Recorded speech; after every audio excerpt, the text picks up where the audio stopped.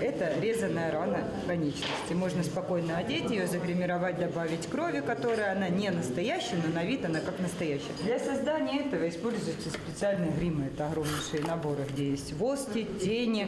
Это прямо специальная наука. Гримирование пациента мы можем создать и осколочные ранения, можем синяки, гематомы, все что угодно можем этого создать. Нет, это не подготовка к съемкам экшн-фильма, как может показаться на первый взгляд. Специальные накладки, имитирующие различные травмы – важная часть так называемого всеобуча по оказанию первой доврачебной помощи в случае экстренных ситуаций. За годы работы в неотложке у зав. отделением медицины катастроф Лидии Потаповой все действия уже отточены до автоматизма. Однако простой человек, даже зная азы, конечно, может растеряться. И останавливает вовсе не страх, а неуверенность в том, что получится, говорит доктор. Поэтому для слушателей курса у нее есть главный совет постоянно тренироваться, то есть хотя бы раз в полгода, раз в три месяца посещать такие курсы или дома. Пришел, просто при себя проговорил, если это я сделаю то, то, то и то. Вот, но говорю, и почему очень хорошо занятия именно загримированными, то есть ты вливаешься в эту ситуацию, и ты отработаешь, и ты по-другому совершенно думать уже начинаешь.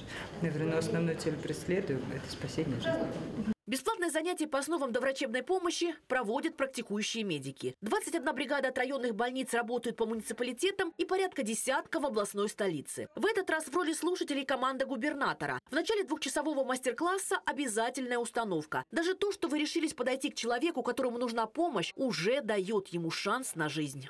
Мы постараемся максимально коротко, но а, максимально всех вас привлечь к наработке практических навыков при установке дыхания э, сердцебиения, при наружном кровотечении венозном, артериальном, при э, проникающих тяжелых поражениях по травмах конечностей. Главный врач региональной станции скорой помощи в профессии два десятка лет. Сколько жизней спас за это время, уже не сосчитать. Но до сих пор Алексей Жиров помнит тот самый первый раз, когда буквально вырвал из лап смерти мужчину, потерявшего сознание в переполненном автобусе. Тогда еще будучи студентом, даже не задумывался, что может навредить. Признается, в голове было одно – спасти жизнь. Мы его подышали, наверное, неправильно, покачали, наверное, тоже неправильно. Но он ожил, вынесли на остановку, передали медикам. Когда вот мы разговариваем со слушателями, пытаемся донести, что человеческая жизнь – это высшая ценность. Любой вред, который мы можем нанести при оказании помощи, он значительно ниже, чем тот эффект, который можем дать путем спасения жизни.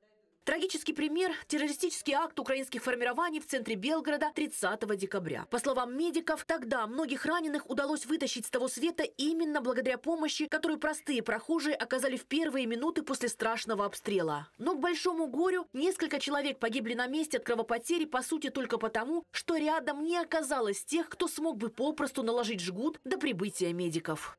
Основные мероприятия, которыми мы вот сейчас должны вот владеть, лежит, это устойчивое да. боковое положение, наложение жгута. Это два, две меры, которые спасут. То есть, э, если открытая рана есть, ее нужно прекратить кровотечение. Да. да. Если у человека нет дыхания, то есть нужно попытаться его восстановить. Да, да. только Или... если этого для вас безопасно. После теории обязательная практика. К примеру, правильно наложить жгут при определенных травмах себе или в данном случае коллеге, а также отработать приемы сердечно-легочной реанимации с помощью манекена-тренажера. Нету нестабильности, абсолютно стабильно. Вам нужно на зеленую шкалу попасть. Это значит глубина правильная. Ага. Еще один этап курсов – погружение в реальность. Здесь пригодились те самые накладки, о которых мы рассказывали в начале. В роли потенциальных пострадавших – студенты-медики.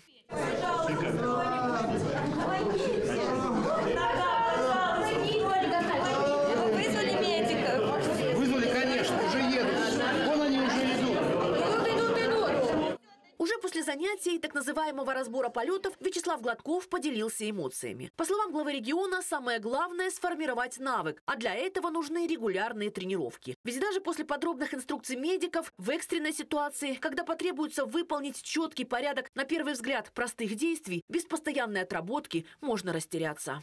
Нужно формировать навык у себя, у близких, а у коллег по работе в, э, в любой ситуации, связанной с оперативной обстановкой или не связанной чисто с бытовыми историями, это то, что должен, в принципе, уметь каждый взрослый и, э, может быть, и ребенок.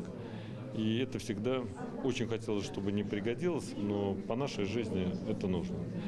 Э, Поэтому вижу, э, что те решения, которые мы приняли несколько недель назад, вводя обязательное обучение для муниципальных служащих, для государственных служащих, оно правильное. В качестве одного из вариантов формирования навыка губернатор предложил разработать небольшие образовательные программы по оказанию доврачебной помощи и заниматься в своих коллективах. В ситуации, когда оперативная обстановка продолжает оставаться сложной, это жизненно необходимо. Наталья Войтенко, Александр Поддубный. Программа «Такой день» на Мире Белогорья.